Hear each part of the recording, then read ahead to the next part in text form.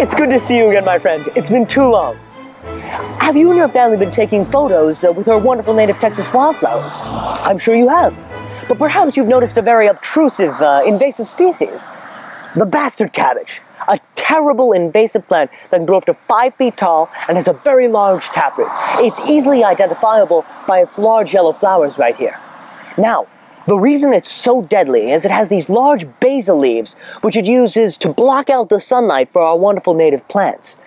Now, you're saying all is lost. It's a large herbaceous plant with large basal leaves. It's tall. What can I do? Well, what I would tell you, my friend, is it germinates earlier, which does give it an advantage over native plants, but we can use its advantage to destroy it.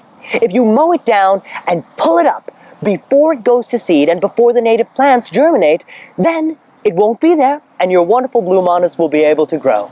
Excelente, my friends. Have victory over the invasives, and as always, stay safe and down with invasives. Commander out.